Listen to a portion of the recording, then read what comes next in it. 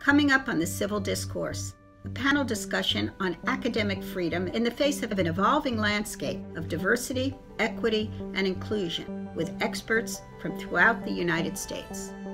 So I will defend the right to be able to talk about those ideas, no matter how how much I may disagree with them. And I think that is our role as academic freedom, uh, as protectors of academic freedom, that we come to the defense of even ideas that we find reprehensible for the defense of being able Absolutely. to air them and debate them.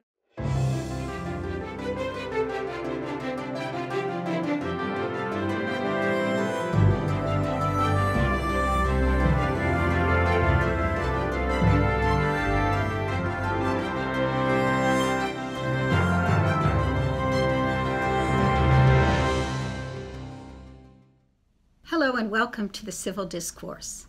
I'm your host, Paula Marantz Cohen, Dean of the Pennoni Honors College at Drexel University, speaking to you from my office at Bentley Hall in West Philadelphia. The issue of academic freedom is a complicated and controversial one. Both sides of the political spectrum claim freedom as a value, but define what it means differently. Today, the civil discourse will take the form of a panel discussion addressing this subject. In the following recorded event, A Classroom Divided Whose Academic Freedom is at Stake, we bring together four individuals whose different viewpoints on this issue are important in thinking about what academic freedom is and what role, if any, the university should play in defining it. Our panelists are Kmele Foster, media commentator and civil liberties advocate speaking from California, Valerie Johnson, Associate Professor of Political Science and Presidential Diversity Fellow at DePaul University in Chicago, Kenneth Monteiro, Professor of both Psychology and Ethnic Studies at San Francisco State University, and Amna Khalid, Associate Professor of History at Carleton College in Minnesota. The panel is moderated by Oyin Adedoyin, a reporting fellow at the Chronicle of Higher Education, located in Washington, D.C. This event was held remotely as an installment of the Pennoni Panel Series, sponsored by the Pennoni Honors College of Drexel University. Thank you for that wonderful introduction. I'm very excited to moderate this discussion about academic freedom, which we all know and have heard very much more often recently. So very interested in the in the topics and, and the different types of conversations that we're going to have today. Let's just start very simple. We throw around this term academic freedom a lot. To each of you, what does it mean?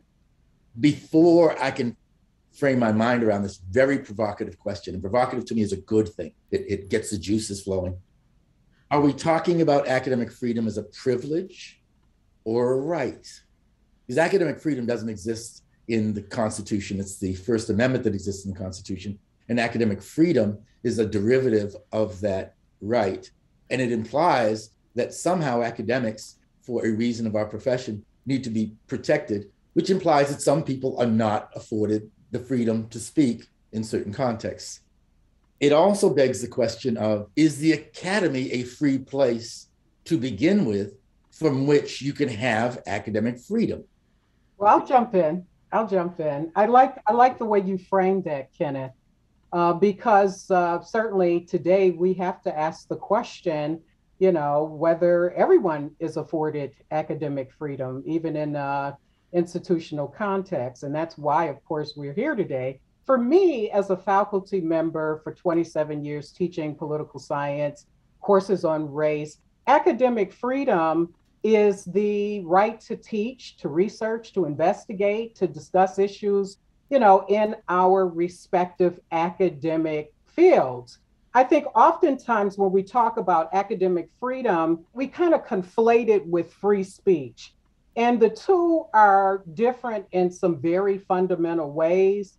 When we think of free speech, for example, we think about, you know, sort of viewpoint neutrality giving equal status to a marketplace of ideas. And therefore, free speech doesn't necessarily encompass or manifest any sense of competence. When I think of academic freedom, on the other hand, it doesn't afford equal status between ideas necessarily, but it is based on some sort of disciplinary standard and peer review that is judged, you know, by a competent set of peers.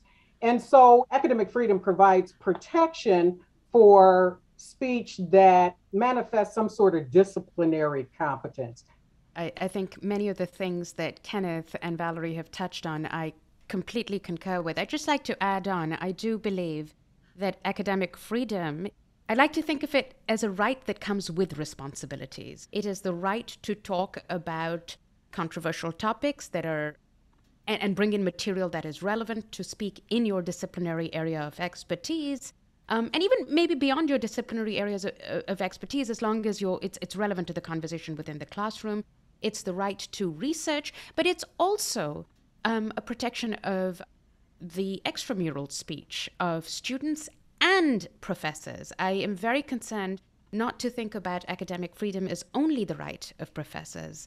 I'd like to perhaps add a little bit more, and I, I hope there's broad agreement on this. I think academic freedom is a phrase that demands some context and it means something very different in the setting of a university versus say public k through 12 ed- education. Part of the, the foundational principles of a liberal order is this principle of fallibility. Um, and i think academic freedom is is a concept that we all embrace because we appreciate the importance of always being able to challenge any idea that this is fundamental to kind of the ideals of a free society in a very, very essential sense, um, in much the same way that free speech is in the kind of broader societal context. I think that that's a great point, Kmele, and and to everything that everyone has said so far. It's quite fascinating, especially talking about it now because you know we're in a in a pretty contentious time, especially on college campuses. And um, something that was brought up a couple of times was the role of faculty and students on campuses. And so I'm curious to delve into that a little bit more. From the sources that I've talked to for different stories, there's been this air of concern, especially among professors about students, students with you know strong political beliefs or just differences, kind of starting to go at each other. Um, and and the term academic freedom has been used in that context. So I'm curious to hear from all of you. You know, what is the role of a professor in that case? What is the role of an administrator in that case? And, and what is a student's role when we're talking about academic freedom in, in a particularly contentious time like this one? I think we, we've never been here before. We're in new terrain. And so I think that it is important to, you know, maintain civility so that we can, in fact, come up with different tools to, to meet the challenge of the day. I mean, on one hand, we want to create an inclusive, sympathetic, empathetic, safe environment for students, faculty, and staff while, you know, fostering dialogue and debate on difficult topics, you know, all the while supporting the foundational tenets of freedom of speech and academic ex- expression. The subjects that I teach are very controversial. I teach on economic inequality, racial inequality. And so every class has a preface. And that preface is look, we're going to have a robust discussion, and here are the ground rules. We have to give place for ideas that we may, in fact, find offensive. So that's my role. I'm teaching my students to understand that there are a diversity of ideas. I always say, test the efficacy of your ideas you know, we don't want to leave any idea unchallenged and, and undiscussed. Valerie hit on a, a number of topics that just have me bubbling as both a professor, but also as an administrator in an academic area and in a an education that now is at least trying to prepare you for a diverse world that has always existed, but now a diverse world where the diversity demands we treat each of these ideas more equitably. That's what's changed. Diversity hasn't changed. There's not new kinds of human beings out there. What's changed is more human intellectual, experiential, aspirational exper- uh, experiences are being validated. Faculty also need to be trained when we say we're going to have them uh, teach these difficult topics, the math pro- professor thinks, oh, I should I should bring calculus in faster.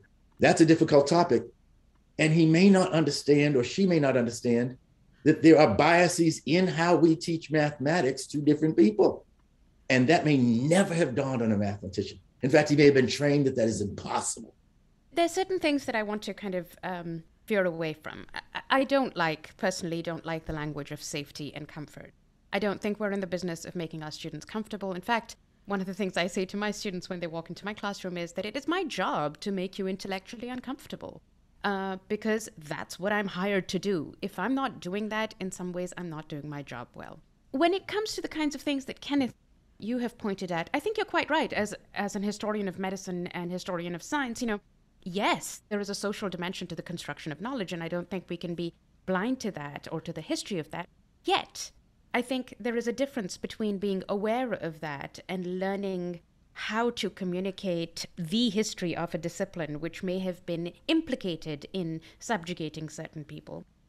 And throwing out the baby with the bathwater, which I think sometimes is beginning to happen in the conversations that we're having, where we where where I do hear, and I'm not saying you're saying this, Kenneth, but I hear people talk about how particular disciplines are white supremacist or are the purview of white male patriarchy or cis het. I, uh, you know, there's a whole kind of uh, list that goes down. And and that's not a kind of conversation that I think is intellectually challenging or particularly productive because that shuts people down and it really does throw the baby out with the bathwater. So I think there is a difference, and I think there's something to be said for being more aware. Of course, I'd say this as a historian about the history of your own discipline and your own field because it really does open up your eyes to maybe certain blind spots that you may have as a practitioner of that field. Yeah, I, I really love that. And actually, I was probably going to start in a similar place where when I hear words like inclusivity, safety, diversity in the context of education, like my my antennas start to buzz a little bit um, I've grown increasingly concerned both about the demand on the part of sort of institutions to pursue some of those goals and with respect to the demands of students who insist on certain things like safety, um, that we are creating a, a, kind of an ideological structure around um,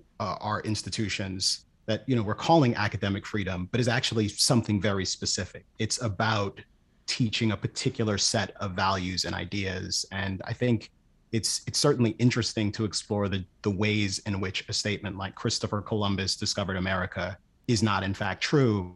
Um, but so long as one is also interested in having a conversation about the degree to which concepts like indigenous people are deeply flawed, and when our concepts of notions like diversity, for example, are are stopping at the group level and not acknowledging the broad and really uh, inexhaustible universe of possibilities that exist within any one of these different group identities that we might traffic in regularly, I think that becomes a serious problem. And it, when I say that, I'm not even so much talking about um, like politics, um, but but a broader sense of ideology and a broader sense in which we're willing to engage with um, serious questions that can be meaningfully provocative and that can challenge what I think has become kind of a dominant ideological framework where most of the conversations that are happening on campuses have to be within the framework of become being an anti-racist institution or confronting white supremacy. Um, and at the end of the day, I think it is exceptionally important to acknowledge that these are in fact ideologies and that when academic institutions commit themselves to these things, they become vehicles for a kind of indoctrination. Now, folks may be fine with that, and there may be degrees in which that is fine. You know, at a theological seminary, I expect some of that. But if it is an institution of higher learning and we have an expectation that people will be able to meaningfully explore complicated ideas and have their perceptions challenged and we believe in fallibility, then I think there's a sense in which, while there has been important progress in the direction of making universities places that are less exclusive, um, that are not interested in excluding particular people, um, that much of the way that we talk about things like inclusivity masks what is actually taking place, which is to say, we are included, people who share our perspectives are included. But that universe of what is defined as our perspective has become increasingly broad in the sense that what you're allowed to believe yourself has become increasingly narrow. And I think that that is very much at odds with the spirit of academic freedom that I think is important in in the university setting, but also in the K through 12 setting. You know, as a faculty member, I I, I hear you all, and I think that you all have some wonderful points. I particularly like the the notion that DEI itself can become ideological, an ideological position. You know, that's something that I think that we have to wrestle with, and but but that's not uh, quite um, what I'm talking about. When I say safety, I mean literal physical safety. Mm-hmm. Okay, mm-hmm. I am on the professor watch list. Mm. After Milo Yiannopoulos came to our campus, I had a Breitbart hit piece written on me. And Milo Yiannopoulos tweeted that Breitbart piece out to his 249,000 followers at the time. And so I'm literally talking about safety. I don't, I do not believe in this sort of, we won't talk about this, we won't talk about that. That's not academic freedom. If it is within the realm of some sort of disciplinary standard, we've got to discuss it. But I think it is important to let students know up front. We are going to have a robust debate. I think that's a perfect segue into kind of where we're going next, which is this idea of these buzzwords, right? We've got diversity, inclusion, safety. These, especially following the events that happened in the summer of 2020 and, and the heightening of that, have, you know, caught the attention of some legislators that are now trying to impose certain views on higher education. And so the question then comes, you know, maybe a professor or an administrator believes one thing, but now you've got pressure from the government saying another. So what happens in those cases and whose responsibility is it to push back or push forward? The institution does not come to us neutral. So if other people are bringing in ideologies, I don't say ignore the ideologies and throw them out. I say put them all on the board because it's a tool. It depends on whether you're using it to liberate ourselves and, our, and giving us space for our students to liberate, or we're using it to indoctrinate our students into a way of going. And we don't always know. I find myself having both agreeing with you and fundamentally disagreeing with you on certain Good. things. This is, this, is, this is the fun, right? This is what we're here for. I, I think you're quite right to say that neutrality might be a very lofty idea, which mm-hmm. actually doesn't exist in reality. I, I'm on board with that. I think there's a lot of value in self critique, in self reflection. The reflexivity is precisely important because it re- allows you to reflect on how you're bringing diverse viewpoints into the conversation. But it should not be conflated with the, with the identity of the person to the point that the identity becomes the substitute for the diversity of viewpoint. Uh, you know, the dominant discourse about diversity and about uh, anti racism tends to do that. It mm-hmm. conflates mm-hmm. that value of that diversity of viewpoint with the sheer identity in its own right, and then it dictates what people of different di- identities can and cannot think. I and in that right. fashion, it is fundamentally essentialist in exactly the same way that it is for which it is critiquing colonial discourses, let's say. The purpose of education uh, is, is under attack the current trend is toward illiberalism, restriction of ideas, what can I, be. And I fundamentally disagree with that. What I believe okay. is that that is a cover story that was always true. Mm-hmm. In other words, there already was an, illib- an illiberalism okay. in yeah. education. And now those who are bringing ideas that weren't in the in the canon are being seen as the excuse when there always was. I think what you're saying may have been true a while ago, but I think that the field has moved on considerably since then for histo- for higher education. You know, there is a difference when we talk about the academy between what students read and how professors deal with it in the classroom, as you know mm. very well yourself. So, an introductory text could, could be whatever it is, but what magic happens in my classroom, I make happen I can make my students read Absolutely. it critically. So, our role as faculty is to be very precise about the terminology we are using. I think we're living in times when words are being conflated. White supremacy is overarching, it means 120 different things. I think when we're talking in class, when we're talking about specifics, we need to make it highly contextual. When I ask my students to talk to me about this, I'm and they use these buzzwords, they talk about anti-racism or they talk about CRT, I'm like, what exactly do you mean? And I think the trouble with these buzzwords is precisely that they get weaponized both by the right and by the left. We see mm-hmm. it being weaponized by the left in the time, kinds of what's called as woke culture and cancellations and attacks, which have very little room for forgiveness and uh, flex, you know, and understanding the intention of the individual. And we see it being weaponized by the right, by Republican legislatures that are trying to actively outright ban the teaching of certain concepts and ideas. Now, I'm no great fan of what is termed quote unquote CRT kind of work, but I do not support censorship of it and the banning of ideas. That's not the way to go. So I will defend the right to be able to talk about those ideas, no matter how, how much I may disagree with them. And I think that is our role as academic freedom, as protectors of academic freedom, that we come to the defense of even ideas that we find reprehensible for the defense of being able to air them and debate them. And I go back to what Valerie said over here about testing the efficacy of our own ideas. So I will go down to the mat, you know, and defend the idea of someone who is saying something I fundamentally disagree with. But I want to be able to counter it. I want to be able to sharpen my own thinking. And I want to give my students the ability to be able to listen. They have a right to hear so that they can contest it or agree with it if so if so inclined if that is where their intellectual faculties take them that, to my mind, is the heart of academic freedom.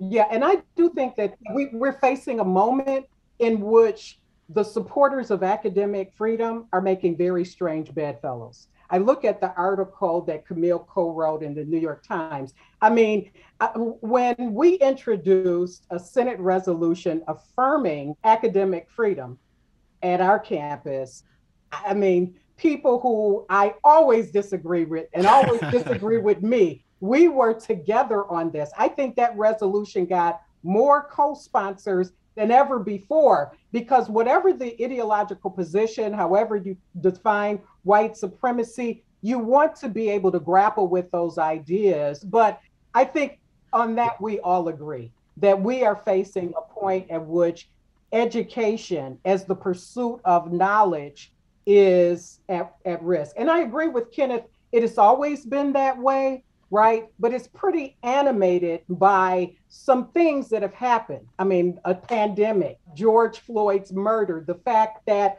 in over 60 nations across the world and on seven continents, there were tremendous protests, you know, um, for, you know, call, crying out for social justice, however you define it.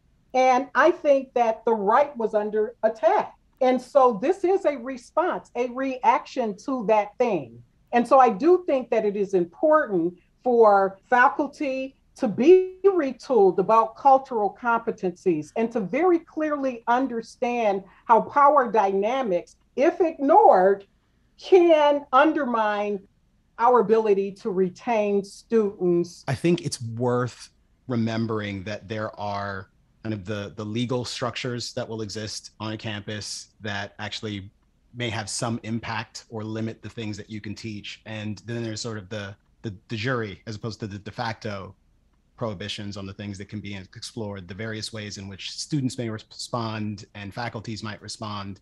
And in many environments um, it seems to me that the the cultural constraints that exist in certain university environments are perhaps as important for us to be concerned about, um, if not more important than the strictures that are placed on by the university, which in many instances, yes, I, I share the concern. I, for one, am, am someone who thinks a great deal about the way that my children are likely to be racialized in different school systems and the degree to which that's something that is at odds with my personal philosophy and morality and the, the personal philosophy and morality that I hope to be able to impart to my children, whether or not they decide to embrace that for themselves.